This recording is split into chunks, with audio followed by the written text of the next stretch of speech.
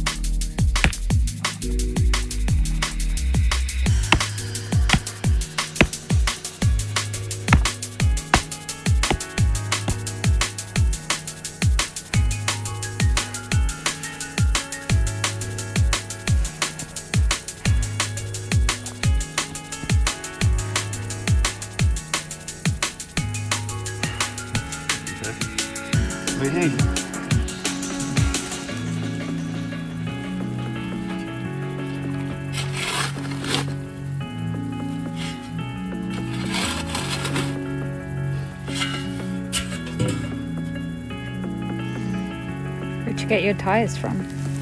Uh, Castello. There's a junkyard of cars. I just asked this guy. He was very happy. He almost went running off and like walked 30 tires by. He carried them to us happily. Like, take them, please. Didn't want any money, which is the first time that's ever happened. Wow. And then I gave him a tenner. But yeah, he was happy to be relieved of them. So, what does he have like an ongoing supply? Do you think? Yeah, because they've got all the junkyard cars. So everything that's like mm-hmm. You know, there's nothing left on them, but even when they've got the shittiest tyres on them, Yeah. they're perfect. know. Nobody wants the tyres. They want all the other stuff. No, so you think you're gonna go back and get some more? I think I'm going to go to Aranas or something. There's a, a even better place there. It's, a tyre, actually a dedicated tyre place. Mm-hmm. Apparently they're very happy giving them away.